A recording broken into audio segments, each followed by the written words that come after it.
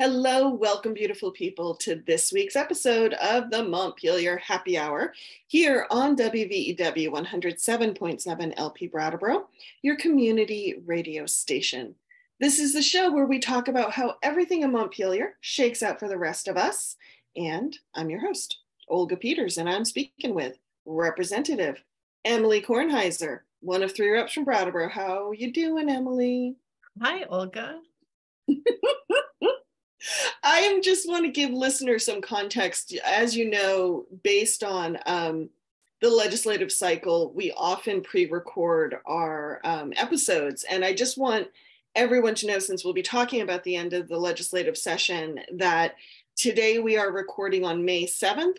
This will likely air May twelfth, and so nearing the end of the legislative session, who knows what will happen between Sunday and Friday. So just keep that in the back of your mind while we're talking. And um, I want to head over to Emilie. One of the things we want to talk about is how and why some policy may make it to the end of the, fi- the final vote at the end of the session and some may not. And it's going to be a little weedy, but the reason um, I thought it was important to talk about this is so often I feel, Emilie, when it comes to the legislative process, when it comes to bureaucracies, when we don't understand them, they mm-hmm. become extremely frustrating. And this is a time of year where a lot of people have pinned um, hopes and needs and uh, funding on different pieces of legislation that may or may not make it. Mm-hmm. And it can be a real time of of celebration but also disappointment. Mm-hmm. and um, so with that context in mind what are you sitting with right now? Whew. um how until we close the books we really have no idea. Like we are a week out from adjournment. Um and it still feels like pretty much anything is possible mm-hmm. um, which is wild, right? Like anything, there are only a few bills that are still moving back and forth between the House and the Senate, but really anything could get put into any of them at this point, both True. in terms of appropriations and in terms of policy. Um, lots of promises could be made, bargains could be struck, and things could also disappear that feel definite. There's also the governor is um, threatening to be very active with his veto pen this year, despite not really um, coming to the table to discuss a lot of these issues in advance. Mm-hmm. And so it's also possible that things will sort of cross this finish line on Friday, get vetoed, and then for whatever reason won't um, either come up for a, ve- a, veto override vote or won't um, pass a veto override vote. Mm-hmm. So basically, what I'm sitting with is that nothing is definite in this world. I'm also sitting with two um, with history. Mm-hmm. And um, just like how slow this process is mm. and how much it patience it takes. Um, but it's not like a sit back kind of patience and just watch the right. world go by. It's more of a keep on trying and realize that celebrating um, there's some need to sort of celebrate the little wins. Mm-hmm. but sometimes it's hard to even tell what those are. So um, a good example i'm going to use and is um, my first and i'm a little tired so excuse my words are like a little bit more rambly than usual today. Um, my first year in the legislature, I was on the Commerce and Economic Development Committee. Oh wow, boy, that was the before times. Yes, and um, I another legislator named Matt Hill sat next to me in committee, and he was great. Um, and he had been in the legislature for quite a while, and he had been working on right to repair legislation. And so that is, you know, if you own a thing that you bought from a company, you should be allowed to try to fix that thing yourself. And the company shouldn't do things to keep you from being able to fix the thing yourself. It's like a very sort of like basic Vermont kind of value right there. Right. And and there's a lot of warranties that basically say if you crack this thing open in any way shape or form it voids all the warranties mm-hmm. including you know there's a lot of um, agricultural equipment that at this point you know like very very very expensive agricultural equipment that's mm-hmm. actually set up it's not just that it voids the warranty it's actually that it's shut off by the manufacturer and you can't turn it back on oh wow yeah that's wow yeah. so um anyway little bill like it was just this thing he was working on. It was not like his whole life's bread and butter. It's just mm-hmm. a thing he was working on. He left the legislature. He sort of, I got excited about it. He handed it over to me. And for a couple years, every year I sponsored this right to repair legislation. And another senator named Chris Pearson sponsored it in the Senate.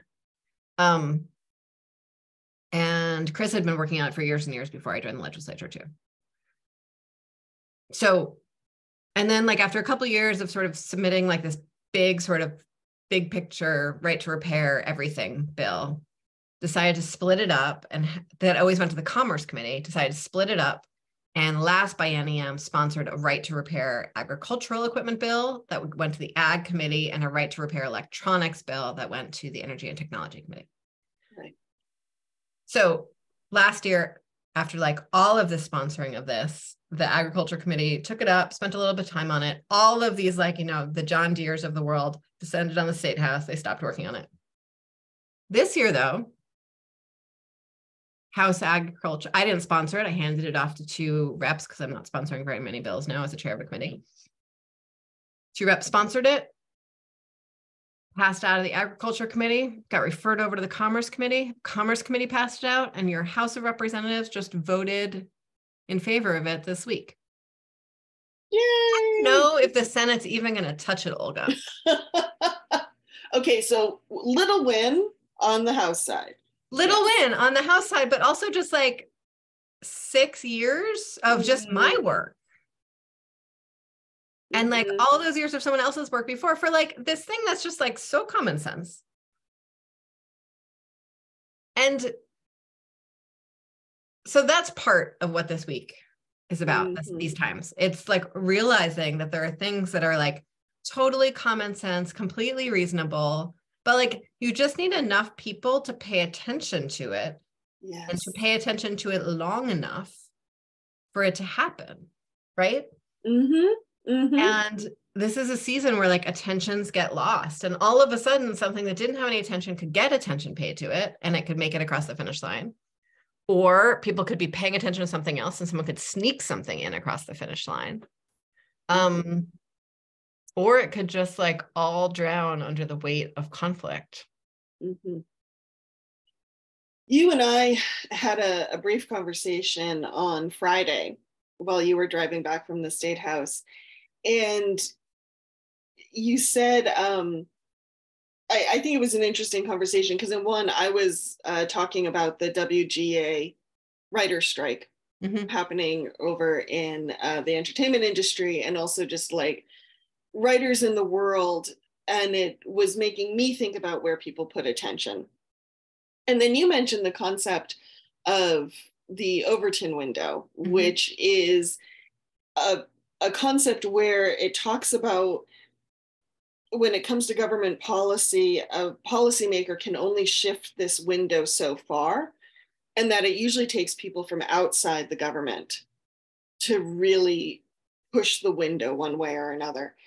And um, I think that is really important to ponder um, because bringing it back to the WGA strike, what it brought back to me is those writers who aren't in the union mm-hmm. in some way have a greater chance to make change oh. when it comes to this this strike because they're like the backup so the mm-hmm. producers can go to these non-union writers and say oh hey we can get around this strike just work for us and if they say no then then that you know it just shuts off more avenues for for yes. getting around the strike um but it's where's i going with this i don't know that that outside forces working on policy mm. and working on change um, how it really does take so many of us and how solidarity is such an important thing. Um, I'm cu- curious for you in the state house right now with everyone so flip and tired. Does solidarity come into the picture or is it kind of every person for themselves? Oh, um, that's so not where I thought you were going with the Overton window. Um, what? a good question. You should though. know me well enough by now. It's never a straight line. um, solidarity. So yes, yes, I think there um, there's certainly caucus solidarity and um, chamber solidarity. There's a lot of chamber solidarity this time of year. So people get mm. very interested in like the House versus the Senate because, you know, we'll do this thing that we'll feel so proud of in either chamber and we'll pass it, you know, like I explained with the right to repair bill and feel like we accomplished something. Mm-hmm. But there's no guarantee that anything happens after that. And the other chamber is going to like mess with your stuff, right? Like that's their job. Yes. But it still feels like you like had this precious little baby that you like dressed and nitpicked all of its legislative language and heard from all of these constituents about how important it was and talked to experts in the field. And then someone else is touching your stuff. You don't have any control over it really anymore. Mm-hmm. Um, and so that gets very escalated at this time of year. And it really becomes about like what the House is doing, what the Senate's doing. And we do tend to like really focus in. We lose track of the governor a little bit. We lose track of like the long time frame a little bit. And we lose track of sort of constituents at home and impacts at home. Mm-hmm. Because it just like becomes, it's always a bubble. I mean, anywhere we live, anything we do is a bubble, but like it gets yeah. very much bubble. And it becomes realer and realer sort of where that Overton window is that's mm-hmm. possible within the building. Because at this time of earlier in a year, it's possible to fashion the kind of compromise where people sit down, they figure out what sort of their end goals are and how maybe even like different sets of means could get them to the same end goal um, or finding shared ground and then sort of appreciating each other's boundaries. At this time of year, it's just like the kind of horse trading compromise that people, I think, expect in politics. So mm-hmm. that's all there's really time for anymore. Um, and that's really, that's very narrowing mm-hmm. and that's very challenging. Um, yeah. And it leaves very little space for the kind it like really narrows the window of possibility and leaves little space for the kinds of sort of comprehensive conversations that we might like to have with outside stakeholders or with sort of in broader solidarity with our communities. I find that interesting because this is, if I'm understanding it correctly, this is the first half of a biennium. Mm-hmm. So it's not like policy, if it doesn't make it through this first session, it can come back easier than it could in a new biennium in January 2024.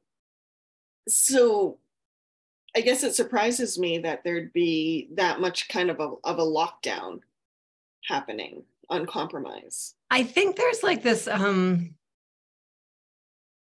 sort of political thread that gets built mm-hmm. um, of you know knowing that everyone's about to go home and tell mm-hmm. and tell the story of what happened or the mm-hmm. governor's about to have six months of owning the media completely rather than just like owning 90% of the media completely mm-hmm. um and there's the fact that like you know the budget is one of the greatest sort of you know um, documents that we share our values with, and we do budget on a one year cycle. Right. Um, so a lot of sort of what we value and what projects are going to succeed are sort of contained in that budget. Mm-hmm. Mm-hmm. So I realize this, like I said at the beginning of the show, this episode will come out on around the 12th. Uh, you may have already adjourned at that point. But what do you think, sitting here a, a week out, what do you think is still possible? Oh my God, Olga, I have no idea. so we're having um, some really much delayed conversations about emergency housing, right? Mm-hmm, mm-hmm. So um, in the fall at the Joint Fiscal Committee, we did a lot of work to make sure we'd have enough money to continue the motel program through until basically now. Mm-hmm. Um, so that we'd have this legislative session to figure something out. Mm-hmm. No one figured anything out this legislative session. That's interesting. It is really interesting. It's How really come we could okay, sorry, I'm going to take a, a sideline here. How come we could figure it out at the beginning of the pandemic, but not now? Well, at the beginning of the pandemic, it was paid for all with federal dollars. Okay. And there's no federal dollars left. And everyone is really clear, including myself, that like this isn't a permanent solution, right? This is right. like, but it's better than a tent by the river or mm-hmm. by the train tracks, right? and it's better until you come up with something else and it's very very hard to provide services to some like we all know that the best case situation is supportive services mm-hmm. and permanent affordable housing we know that we don't have enough permanent affordable housing mm-hmm. we know that's very basically impossible to provide services to someone who is not stably housed even in a motel right like a motel yeah. is stably housed enough to provide services um but it's incredibly expensive to continue the motel program and everyone thinks it's sort of a nightmare right like there were all those headlines about what happened in rutland like there's mm-hmm. a lot of sort of like small town politics that feed into yeah. people's feelings about the motel program but again it's like better than having thousands of people camping in like the corners of the streets right mm-hmm. for those people most of all, but also for whole communities and public health and all those things. Right. Um, but it's one of those situations where like there needed to be like some really serious strategic planning about like this is how many units we need of emergency housing this is how many units we need of transitional housing this is how many units we need of permanent housing this is the timeline that we need to get there and how long we'll need each of these things for more people are losing their housing every day. It's not like a stable population. It's like people find housing and people lose housing every day. Yeah. And we know that the, you know, we need to invest the most in the permanent housing, right? Because that's the permanent solution. But it's just one of those cases where, like, no one quite owned the problem. The administration didn't ever show up with the solution that was asked of them. Um, a lot of transitions and a lot of offices both on the mm-hmm. you know from advocates and um, in the administration. And it's also an issue that sort of sits across a few committees. Mm-hmm. and so right now it's like really like that's like one of the big sort of sticking points in the budget. And it's something that a lot of people weren't paying attention to. And so i was really surprised because it's something that i pay a lot of attention to how few of my colleagues didn't seem to know that this was happening or what the impacts of it were happening um, I think people thought that like some people were about to be homeless, but like most people who were vulnerable wouldn't be. Mm-hmm, mm-hmm. Um, so that's been really interesting to sort of see again, like what you said about the your attention now to what's being paid attention to, how this sh- how this time of year we start to shift our attention and what yeah. we're paying attention to. Um, well, so I also appreciate that context because it brings us back to that point of, you know, if you're standing on the outside, like my question, but they solved it during the pandemic. Why can't they solve it now? And that lack of context can be very frustrating. Mm-hmm. Yeah. So thank and you. For, I think another thing that's really frustrating for folks on the outside, and I see this with constituents in Windham County all the time, mm-hmm. is I think we all assume that Vermont's like the part of the Vermont we live in. Mm-hmm. Yeah. Right. And so yeah. I think people in Franklin County are saying, like, why are you know but these are the needs in this area like these are the priorities in this area or folks who like live in rural areas where homelessness is invisible mm-hmm. or folks whose like all of their neighbors are making $40,000 a year versus $150,000 a year like you might see in certain areas of Chittenden County right And so everyone thinks that their community is what Vermont is. And they're so surprised that like the legislature isn't doing what their legislator would do.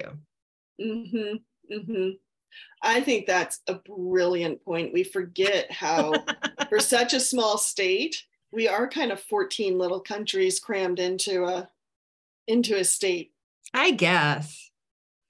I mean, I do think it's true. It's just um I think we could do better to sort of talk across that difference and understand. Oh yeah. Do sometimes. Oh, yeah. Um yeah, so that's sort of a funny thing because people will be like, write me emails and I'm like, yes, I care. I'm doing the very best I can to get that across the finish line. Unfortunately, like you know, not all my colleagues are in the same place as we are here in Brattleboro on this particular issue. Mm-hmm. Um, not a monarchy around here. No. no. Which is a good thing. Which Except is a hats. good thing. Oh, the hats are kind of fun, aren't they? I mm. suppose. the fascinators. Um, yes, the fascinators. So that's something that happens this time of year, sort of the something will become very sharply into focus and be like the thing that the negotiations sit on, even though it's something that like people weren't paying attention to, or something that um, was sort of in the background and sizzles up to the front. Things like that. Mm-hmm. Um, after the break, I want to talk a little bit about how things are different for you now that you're a chair of a committee mm-hmm. versus when when you just served on a committee. Mm-hmm. Um, but in the five minutes we have before the end of of this segment, I'm curious, given how exhausting this end of the session can be for very good reasons. I mean, mm-hmm. I think I said to you earlier, it's a sprint and a marathon at the same time. Mm-hmm. What what keeps you going? Like what's going to get you over the finish line? um besides your very awesome nail polish. Thank you for video folks. Or for audio folks, I got some bright red nail polish to get me through. Um, but more of what gets me through is sort of some conversation, some combination, excuse me, of that Overton window and um, like a lot of visualizations of rivers. Mm. So hmm. I don't know what thing or change or sentence I'm going to communicate that's actually going to be the one that shapes policy long term. Mm-hmm. And so, you know, when you drop pebbles in a river or um, even logs in a river, right? You don't, it shifts the flow of that river a little bit. And that shifting of the flow of the river a little bit shifts other opportunities available in that river, right? Right. And similarly, the Overton window, um, what is it that I'm able to do on a day to day basis and in terms of getting policy across the finish line or sort of incrementally forward is going to shift what's possible next, mm-hmm. either for me or for someone else. Mm-hmm. And so, you know, even when we were talking about, we were talking about changing our legislative pay structure a little bit, Mm. And what I've been reminding my colleagues is this isn't about what's going to work for you. This is about what's going to work for the people who can't even pull it off to get here because of how incredibly absurd our existing pay structure is. Right. And so that thinking of like those shifts that make space for the next shifts is a lot of how I um, center myself and make it through this time of year there's also like a fair amount of very unhealthy eating and some like pretty inappropriate snark that I regret immediately after it comes out of my mouth. so instead of a swear jar in your committee room, you have a snark jar. No, no, no. I don't say it. I don't say it aloud in committee. I do okay. like control myself well enough for that. I think for the most part. Yeah. And I tend to not eat the cheese doodles in public all that much either. Oh, well yeah. then because you got the the funny yeah, colored it's no good, and, especially yeah. with the red nail polish and the orange cheese dust. Mm-hmm. Yeah. Mm-hmm. But I hear you on the cheese doodles. Those are those are good stress eating mm-hmm. snacks. Yeah. well, and then it's, very- you know, like there is the, it's really, you know, earlier in the session, there's a lot more space for like telling the stories of constituents. Mm-hmm. Um, and again, it's really easy to get sucked into the bubble of like the football game of it all or the sausage making of what it all. And when I do hear from constituents about just like, uh, hey, thank you, this is still important to me, that like it's not even the gratitude that makes it possible. It's like the recentering in the fact that this impacts people's lives. Mm-hmm. Because I can't actually carry around how much impact it has on people's lives all the time. Mm-hmm. It's just, it's too much responsibility. It's an overtaking of responsibility. Yeah. Because of that river, right? But the responsibility is why I do it. And so um, I'm always like sort of balancing remembering it without becoming overwhelmed by it. Thank you. That mm-hmm. that is a um I appreciate you saying that. So we at the Montpelier Happy Hour on WVEW 107.7 LP Brattleboro, your community radio station. We need to hear from some of our underwriters, so stay tuned. We'll be right back.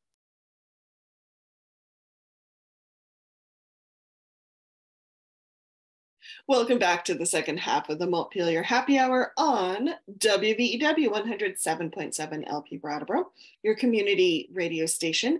You can also find us on Brattleboro Community Television, and thanks to them, you can also find us on many of the PEG stations around Vermont. So thank you, BCTV. You can find us wherever you subscribe to your podcasts, although I apologize, folks, I've fallen a little behind, but I promise I will catch up on my editing. And you can also find us at the Montpelier Happy Hour at gmail.com should you ever want to drop us an email. And Emilie, mm-hmm. what shall we remind our listeners of? As a matter of fact, the views and opinions expressed here on the Montpelier Happy Hour are those of the host and the guests, respectively, not the station, not the platform, not their employers nor friends. Thank you. Mm-hmm. Uh, I know we are at the end of the legislative session. I'll say once again, we're recording this on Sunday. It will air on a Friday. So um, a lot of things can change between then and now. In fact, Before that's we... what we're talking about is how much things can change between then and now. So for listeners, it might be a really good object lesson to see what changed between then and now. Or we, we should maybe create a bingo card or something. Yes. End of session bingo. Um, before we talk about some things that are still up in the air, though, Emilie, I want to talk about some. We we often, tongue in cheek, talk about the need to drown the policy babies mm. at times, and you were talking about how different the process has become for you since serving on a committee to now you are chairing a committee. Mm-hmm um, and and the different decisions that can make when it comes that that can create when it comes to whether or not policy makes it in a certain shape or form. Could you uh, elaborate on that for listeners, please? Yeah, and first let's sort of explain the phrase a little bit because I think a lot of other legislators have like much more appropriate ways of describing this phenomenon. But Representative Matt Trieber, former mm-hmm. representative from Rockingham, a um, kind of extraordinary character, very smart, very smart, straightforward to a fault, um, wily, sort of confusing politically in a lot of ways. Um, anyway, Representative Matt Trieber, maybe my third week in the legislature. So I am like, you all remember, I was so idealistic going into this realistic like understood how like how bureaucracy works. I knew how limited the capacity of the legislature was all of those things. But i you know i was still filled with like hope and a lot of confusion because it was three weeks into this thing. Matt trieber comes up to me.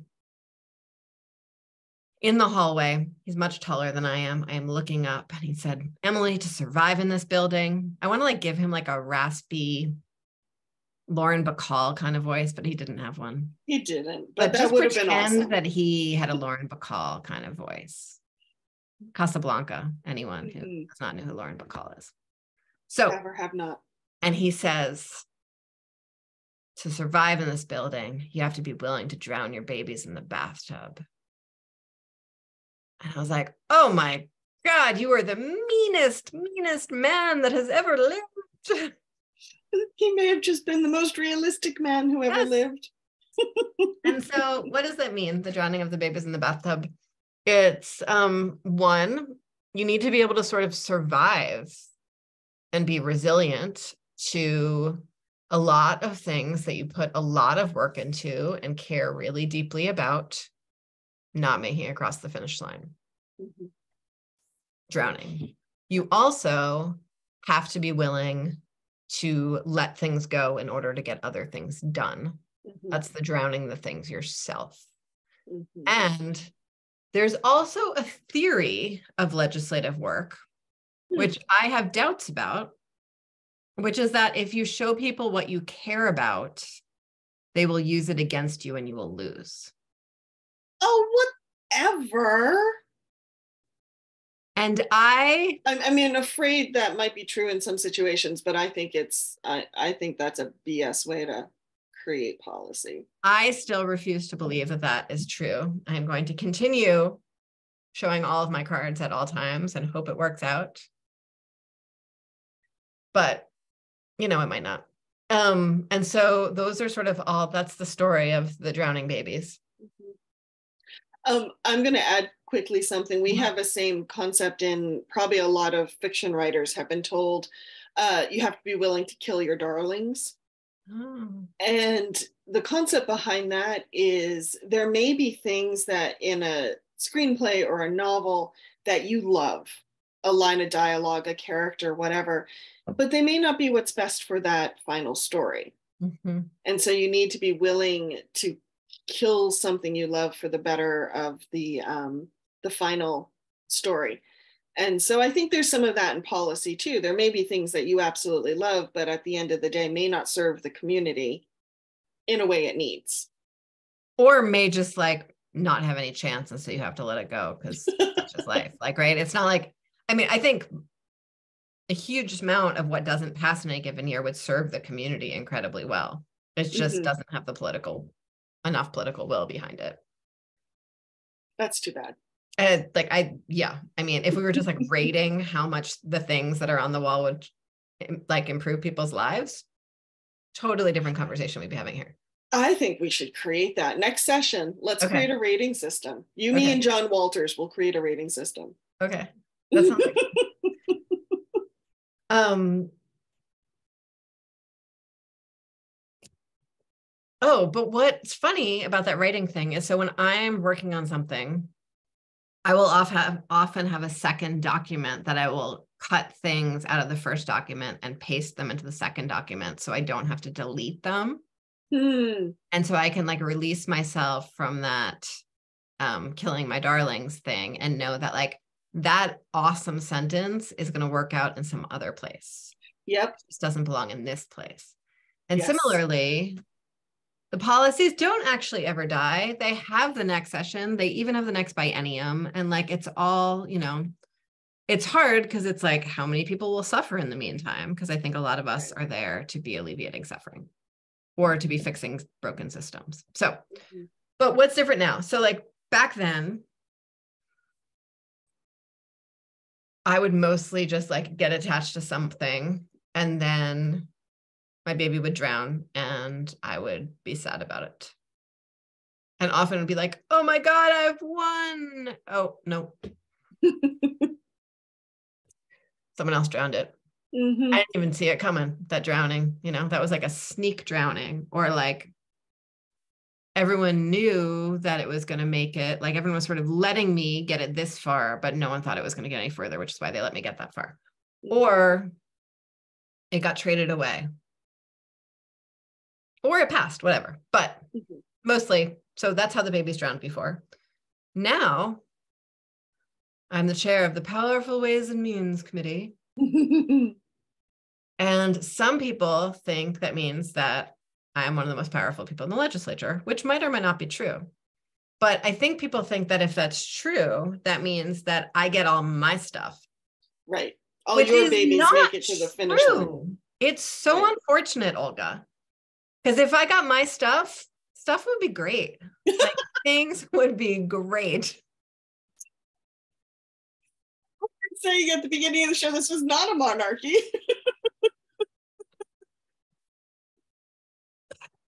but I have no doubt, yes, things would be good. yes.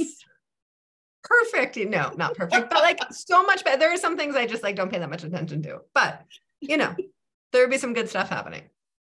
No, it just means that I'm sort of like responsible for negotiating the will of 180 people. Mm-hmm it doesn't mean that I like get to exert my full will and power upon 180 people, unfortunately. Not a monarchy, monarchy again. no fascinators. Right. No derby, no monarchy, no fascinators. um and so I'm the one who has to like tell the members of my committee that I've been working really hard on something that it's not going to happen and it's experienced as me drowning the baby.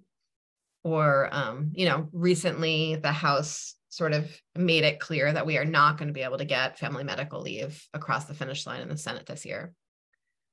And you know to break you know how hard you've worked on that yes. Yeah i have. And like you know there's been opportunities in that to bring a lot more people into the legislative process and to like see how to talk about family from like a non heteronormative straight non straight perspective and to like you know shift the window a little bit in some of those conversations about like what it means to value care. And like i'm really hopeful we'll get it passed next year right? Um and so like had to tell my caucus that like mm. clearly I'm not like drowning the baby, like, you know, I'm drowning some of the babies I love too, right? Mm-hmm. And I'm not, you know, I'm not always drowning them like to get something else. They just like drown under the weight of all the things we take on. Right. So that's what's different. And it's like really, it's hard to be out in front of something and then have it, you know, disappoint. Mm-hmm. Yeah. And I bet that's a shift you did not see coming when you took over the chair, did you? Mm, I don't know what I thought this would be like anymore. I'm still really grateful to do it, but um, I don't know if I understood how that particular shade of attention would be tiring in the way it is. Mm-hmm. Mm-hmm. Well, thank you for for sharing that perspective, Emilie. Curious, what are some of the things that are still up in the air? Mm. Like, and I will just say, I am surprised that family medical leave is still up in the air or that it likely won't won't pass the the Senate. Like I just I thought that was a done deal. Mm-hmm. Um, from the outside looking in, I think also um, the clean heat mm-hmm. standard.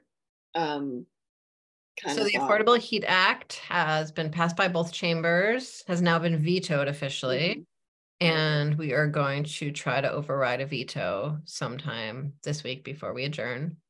Um, but that doesn't just take some really concerted teamwork and the ability to withstand a level of lobbying and misinformation that has like ratcheted up from even in the days when we were doing our first vote. It also takes everyone being in their seats at the same time.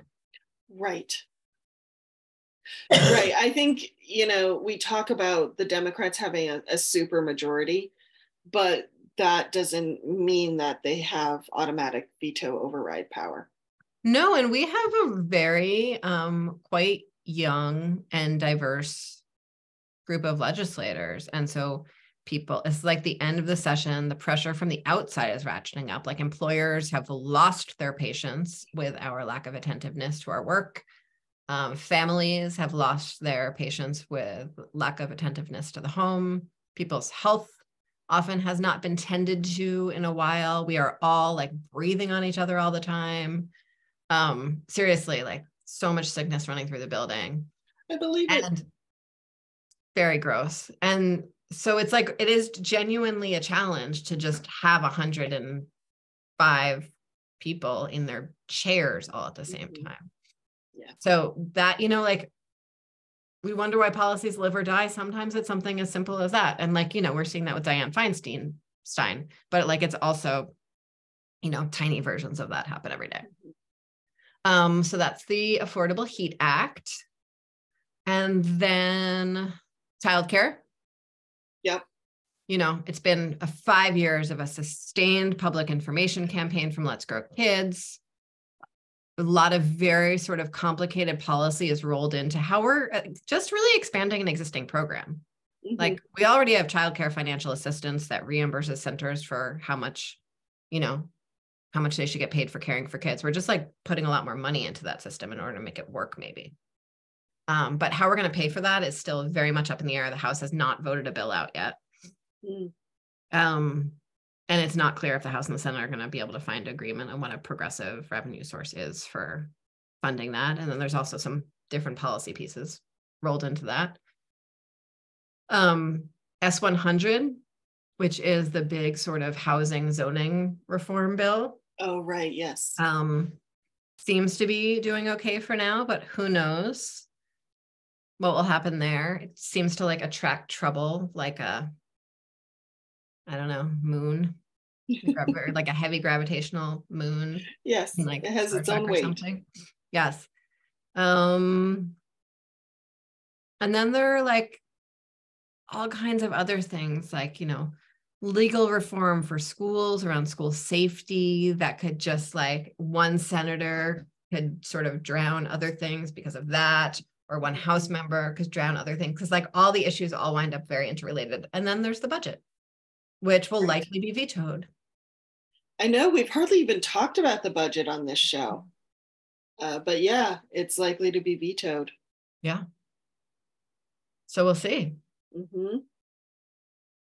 Mm-hmm. And then we already have our veto session scheduled in June. Ah, okay. Well, I mean, I'm not surprised. Uh, whether you agree with Governor Scott or not, he does tend to use vetoes quite often as part of his policy toolkit. Like at a magnitude that is ha- historically unseen in the state of Vermont. Like yes. so many more vetoes than any other governor ever.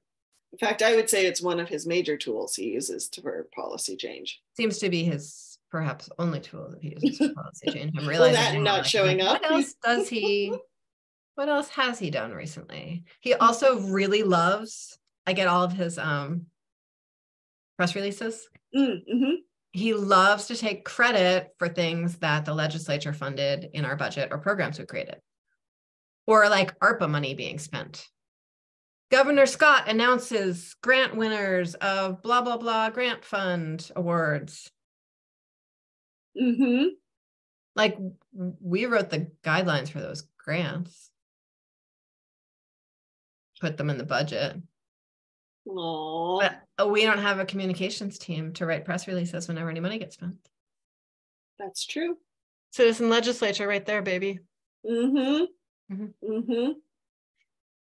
Maybe uh once you take care of the compensation package, you can get more legal aid, more assistance, and a communications team. Yeah, I don't know. I mean, that's like last on the list, I think, but maybe. But he, I put it last on the list. Yeah, no, you did. I mean, I have other things I would put in between that we didn't talk about, but um, because it is actually really, really important that Vermonters know what we do, right? That's yeah. like part of the democratic process is that Vermonters actually like it. The participation works best when people know what we're doing. Mm-hmm. And but understand writing, the process like, and how you got there. Yeah, no, like me writing updates on my email once every few weeks is like not, not a communication strategy. Mm-mm. Mm-mm. And um, anything, any any highlights in the budget? Since we haven't been talking about the budget very much, that you just want listeners mm-hmm. to understand, or yeah. So um, I've been thinking a lot about care lately. I've been mm-hmm. talking a lot about care lately. So there was the family medical leave bill there is this big investment in childcare spending that's um, in the budget. There's universal school meals. And then there's this big increase in Medicaid reimbursement rates right in right. the budget it's for like folks like home health aides, Mhm. Um, folks who are like um, programs and individuals who are providing like direct service care will see Mhm. a big bump in their pay because of this Medicaid reimbursement rate change. And that feels huge to me. So it's like all part of this package from my perspective of saying, like, we are going to value the women who carry our whole society because they're doing the care work, right? Yeah. Yeah. And for me, that's what all of those bills are about. Mhm. Thank you. Mhm. We um I know I've asked this before, but I am always fascinated when a process begins, what Mhm. we expected, Mhm. and then what the reality is. Um, we, you know, bringing this back to some woo woo feng shui, you know, when you look at the five I love. elements, I just have to say, like, you don't need to put woo woo before feng shui. Like, it's already woo woo. Like, it's like- already woo woo. it's already woo woo. Yeah. So go on. so when you have the five elements in Chinese medicine, you start with water, you go to wood, you go to fire, you go to earth, you go to metal. And what's interesting is water is where like a dream may begin. Wood is where you grab your resources. Fire is your um, doing. Earth is when something actually becomes real. And then metal is where that reality becomes refined. Oh. And why I find that so fascinating is when we are standing at the beginning of a process, like standing in the river, we can't see necessarily the mountain that, you know, or the earth that Mhm. that process will create. We might think we know, but we don't know, actually know until we get there. Um, and so for you, at the beginning of the session, what has shifted? You know, you went in with your expectations and now you've come out the other end. And we're not fully in Earth, even, you know, a lot of things still aren't quite real.